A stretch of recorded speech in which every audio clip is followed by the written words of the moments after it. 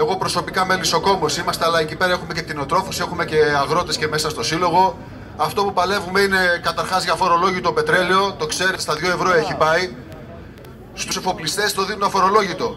Εμείς αναγκαζόμαστε να το πληρώνουμε κανονικά. Παλεύουμε για αναθεώρηση ε, του κανονισμού του ΕΛΓΑ που παθαίνουμε αρρώστιες, ε, χάνουμε τα στρέμματά μας, τα ζώα μας. Εμείς οι μελισσοκόμοι έχουμε σοβαρό πρόβλημα και δεν μας αποζημιώνουν. Στην καλύτερη περίπτωση να μας αποζημιώσουν στο 60-70%.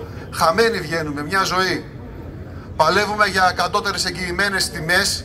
Εμείς δεν θέλουμε να φύγουμε από τα χωριά μας, όπως πολύ καλά λένε εδώ πέρα τα συνθήματα. Εμείς θέλουμε να μείνουμε στα μελισσοκομεία μας, θέλουμε να μείνουμε στα χωράφια μας, θέλουμε να μείνουμε στις κτηνοτροφικές μονάδες μας. Παλεύουμε ενάντια στην, ε, στην ΚΑΠ, γιατί αυτή είναι η οποία μας ξεζουμίζει ουσιαστικά, αυτήν έχουμε απέναντί μας.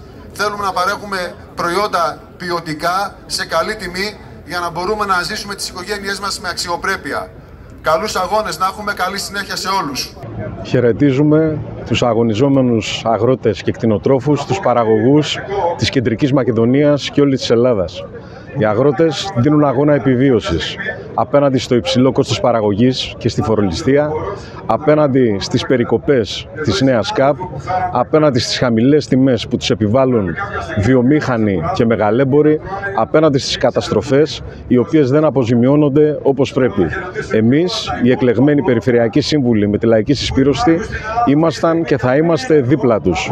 Το δίκαιο, ο κοινός αγώνας των αγροτών και όλων των εργαζόμενων θα νικήσει απέναντι σε κάθε απόπειρα και συκοφαντίας και καταστολής.